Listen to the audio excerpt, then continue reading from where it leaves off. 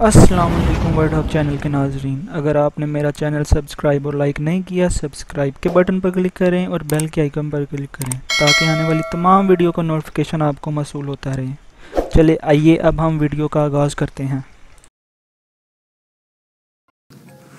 مجھے موت سے کوئی ڈر نہیں لگتا، لیکن مجھے مرنے کی بھی کوئی جلدی نہیں ہے، کیونکہ زندگی میں بہت کچھ کرنا باقی ہے۔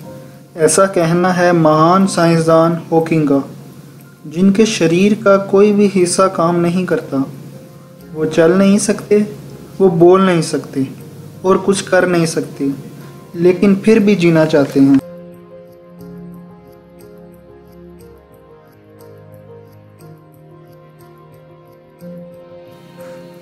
اسٹیفن کا کہنا ہے کہ موت تو یقینی ہے۔ لیکن جنم اور موت کے بیچ کیسے جینا چاہتے ہیں، وہ ہم پر انحصار کرتا ہے۔ چاہے زندگی کتنی بھی کٹن کیوں نہ ہو، آپ کچھ نہ کچھ کر سکتے ہیں اور کامیاب ہو سکتے ہیں۔ اسٹیفن کا جنم آٹھ جنوری انیس سو بیالیس میں انگلینڈ، آکسفورڈ میں ہوا۔ جو اسٹیفن کا جنم ہوا تو دوسری جنگ عظیم چل رہی تھی۔ اسٹیفن کے ماں باپ لندن کے ہائی گیٹ سٹی میں رہتے تھے، جہاں پر اکثر بمباری ہوا کرتی تھی، جس وجہ سے وہ اپنے بیٹے کو جنم کے لیے اوکسفورڈ لے آئے، جہاں پر سٹیفن کا جنم ہوا۔ بچپن سے ہی سٹیفن بہت ذہین تھے۔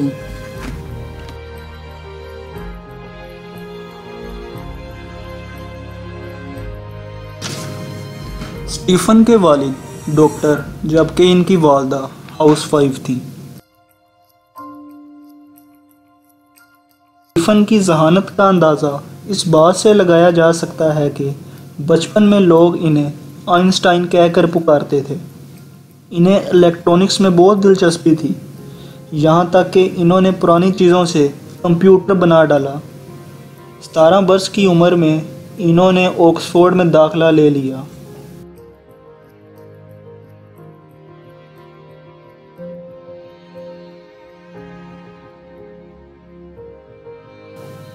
جب وہ آکسفورڈ میں تھے تو سٹیفن سیڑھیوں سے گر کر زخمی ہو گئے۔ شروع میں تو سب نے کمزوری سمجھ کے دھیان نہیں دیا، لیکن بعد میں اس طرح کے الگ الگ مسئلے ہونے کے بعد جانچ کروایا تو پتہ چلا کہ انہیں کبھی نہ ٹھیک ہونے والی بیماری ہے۔ یہ بیماری نیورون موٹر ڈیزیز تھی۔ اس بیماری میں رفتہ رفتہ ساری نسیں کام کرنا بند ہو جاتی ہیں۔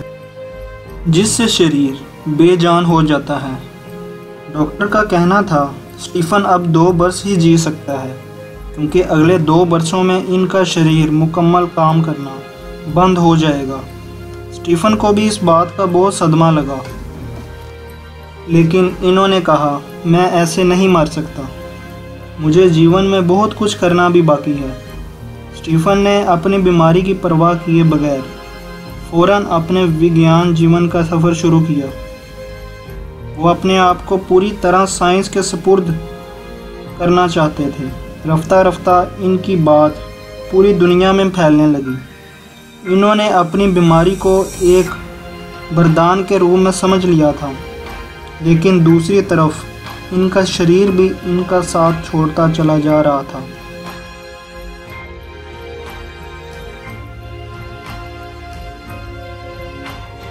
رفتہ رفتہ ان کا بایاں حصہ بند ہوتا چلا جا رہا تھا۔ بیماری بڑھنے پر انہیں ویل چیئر کا سہارا لینا پڑا۔ ان کی یہ کرسی کمپیوٹر کے ساتھ ہی بندھی ہوئی ہے۔ جو ان کے سر اور ان کی آنکھوں اور ان کے ہاتھوں سے پتہ لگا لیتی ہے کہ وہ کیا بولنا چاہتے ہیں۔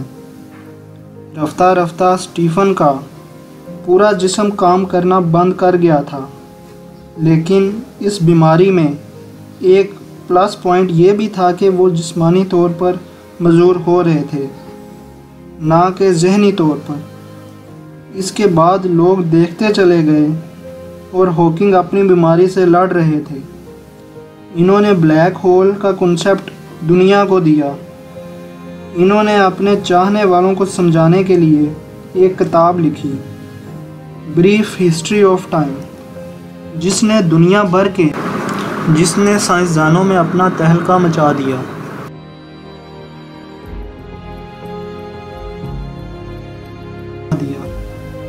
دوستو، سٹیفن ایک ایسا نام ہے جس نے جسمانی مزوری ہونے کے باوجود انوکھا سائنسدان بن کے دکھایا، جو کہ ہر جسمانی مزور لوگوں کے لیے ایک مثال ہے۔